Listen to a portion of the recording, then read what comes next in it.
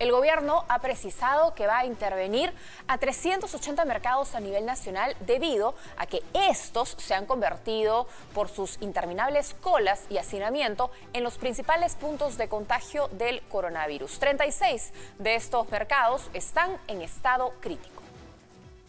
Las estadísticas y las calles así lo demuestran. Algunos mercados se han convertido por sus interminables colas y hacinamiento en el interior en los principales puntos de contagio y desde el gobierno el presidente anunció medidas. Pero hemos identificado 380 que tienen que ser intervenidos ya, en este mes. Pero de todos ellos hemos identificado 36 que son críticos. Y es que los últimos tamizajes realizados a comerciantes en los principales centros de abasto de Lima y Callao, el mercado Caquetá, por ejemplo, resultó con 163 trabajadores positivos para COVID, el mercado San Felipe de Surquillo 261 y el mercado central del Callao 30 casos confirmados. Yo estoy seguro que los comerciantes no tienen ninguna intención de contagiar con el virus a los clientes.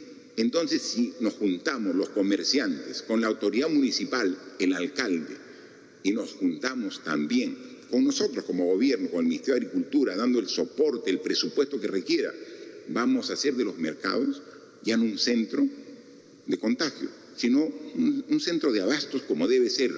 Sin duda, las municipalidades tienen un rol fundamental en el control de los centros de abastos, alrededores y vías principales en las que se concentra la informalidad, que es otro problema que también genera focos de contagio.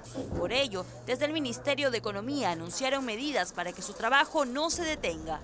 Somos totalmente conscientes de la caída en la recaudación que han experimentado.